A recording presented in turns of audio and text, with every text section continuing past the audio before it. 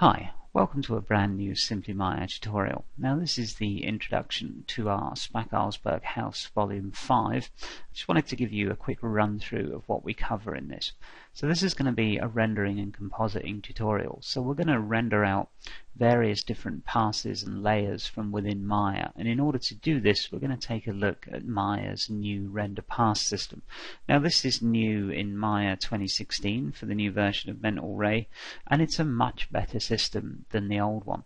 So we'll look at light path expressions to get more information out. We'll look at splitting this render up into all of its various different components and then recombining it later on to give us an entirely um, different degree of control over the image than we would have if we just kind of did the post-production in something like Photoshop.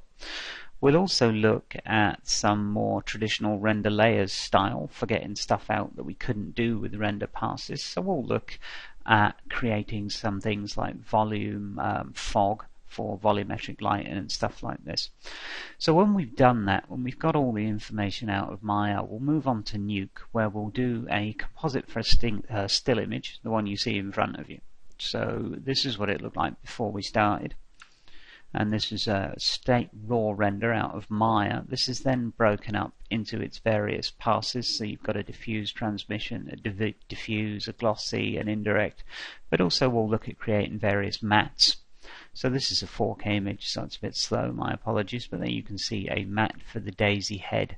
We'll look at mixing matte sets. So here's a matte set for the main house. So we'll look at color correction based on matte sets. We'll look at how to go, you know, from here to here, really. Now after we've finished that we'll look at compositing for animation. So if I pop open a file with an animation and if you've been following this through you'll know that this is uh, the environment and house we created in the previous four volumes. But you'll notice our sky moves with us. Um, so this is done on a 3D piece of geometry within Nuke and we'll look at various techniques for compositing for animation. So I hope you join me for this one. See you in the first part, hopefully.